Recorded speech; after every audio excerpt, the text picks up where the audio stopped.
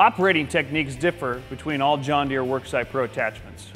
It's important to remember that the use of a severe duty door or additional windshield protection is required for the use of these hammers. Always operate the hammer at a 90 degree angle against the material that you're working on. When the front wheels of the machine begin to lift off the ground, the correct amount of downforce has been applied. Do not operate the hammer more than 15 seconds in any one spot. If the material does not break, reposition the tool and try again. Do not pry with the bit or use it to move any objects. This could damage the internal seals of the hammer and cause leaks.